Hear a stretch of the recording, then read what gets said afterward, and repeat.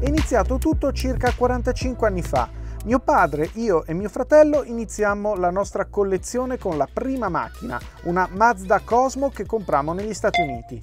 Dopo alcuni anni prendemmo un altro modello e poi ancora. Lo spazio era sempre stato un problema. Prima comprammo un piccolo garage dove semplicemente parcheggiavamo le auto e poi 15 anni fa iniziammo a desiderare una sala dove allestire le vetture in un modo migliore rispetto al semplice parcheggio. Quindi 12 anni fa parlammo con l'amministrazione di Augusta per trovare qualche area adatta. Nove anni fa potemmo comprare quest'area e l'edificio, dove prima c'erano i tram della città. Pensammo che fosse il luogo migliore nel quale aprire un museo. Prima lo desideravamo solamente per noi e la nostra collezione, ma dopo aver ristrutturato decidemmo di aprirlo a tutti. Abbiamo aperto da tre anni e sta andando molto bene. È molto divertente per tutti, mio fratello, mio padre e me. yeah, it's a lot fun for my brother and my father and me.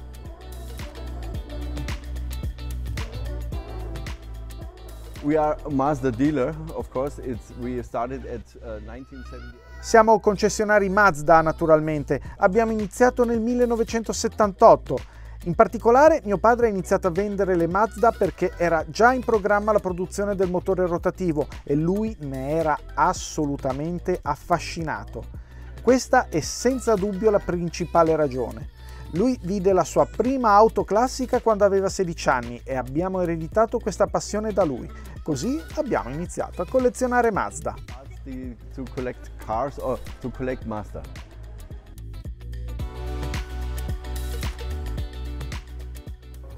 Yeah, this car is a really important car. Quest'auto è davvero molto importante per me e per Mazda perché rappresenta l'inizio della produzione di vetture per la casa. Era il 1960, mentre questo esemplare è del 62.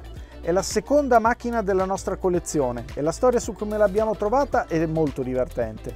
Quando collezioni auto classiche devi parlare, incontrare varie persone. Un amico vide su un giornale un annuncio vecchio di due anni con le foto della macchina in Australia.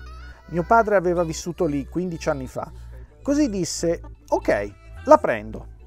Chiamai il venditore per parlargli e mi disse che aveva ancora l'auto dopo due anni. Gli abbiamo chiesto se la volesse ancora vendere e ci disse, naturalmente. Il prezzo era giusto. Gli chiedemmo in che condizioni si trova e lui rispose, è nelle condizioni migliori al mondo.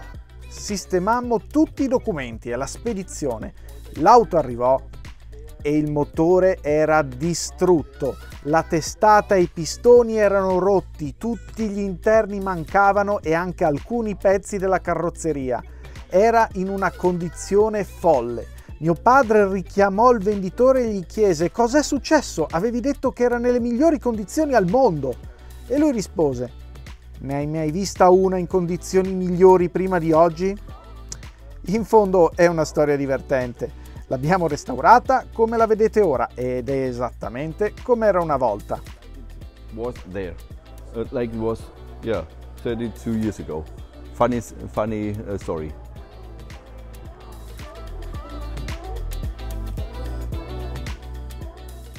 Yeah, we are here on the Mazda Road Pacer. It's a funny car, of course, because it's not a real Qui abbiamo la Mazda Road Pacer. È un'auto divertente perché ha l'aspetto di una vera Mazda, ma in questo periodo, nel 1975, la casa non aveva una vera grande auto. Quindi fecero un accordo molto interessante. Comprarono lo chassis dalla Holden, lo fecero spedire in Giappone, ci misero sopra un motore rotativo e così nacque la Mazda Road Pacer. Ne produssero solamente 800, quindi ora è davvero molto rara. È bello averla e anche lei ha una storia divertente su come ce la siamo procurata. Mio fratello la vide su eBay Australia. Ero al computer e feci l'offerta migliore. Quello che non sapevo però è che se un oggetto così arriva dall'Australia, il venditore può comunque decidere se spedirla o meno in Europa. E lui disse no. Quindi avevo vinto l'asta, ma non voleva spedirla. Due anni dopo, e qui viene la parte divertente, mio padre ricevette una telefonata da un tipo in Nuova Zelanda Disse, da noi ci sarebbe un'auto e sappiamo che sei un collezionista, sappiamo che non ne hai una simile e la devi comprare. Ok, strana telefonata. Venne fuori che il tipo aveva vinto l'auto due anni prima all'asta ed era un collezionista con circa una cinquantina di auto. Ora però aveva incontrato una nuova ragazza e lei gli aveva detto se tieni queste auto me ne vado. Quindi la sua decisione fu di vendere tutte le auto. Non sono sicuro che fosse la decisione migliore. Lui sapeva della vendita e quindi ci telefonò. Ma perché ci conosceva? Aveva parlato anche con Mazda Nuova Zelanda. Sua moglie era una ragazza alla pari qui ad Augusta e in un viaggio vide la nostra collezione. Sapeva quali auto avevamo e quali no. Ora è un amico. È venuto altre due volte e vuole sempre vedere l'auto. È stato molto importante perché fece tutti i documenti in Nuova Zelanda. Una bella storia per l'auto che è arrivata da più lontano.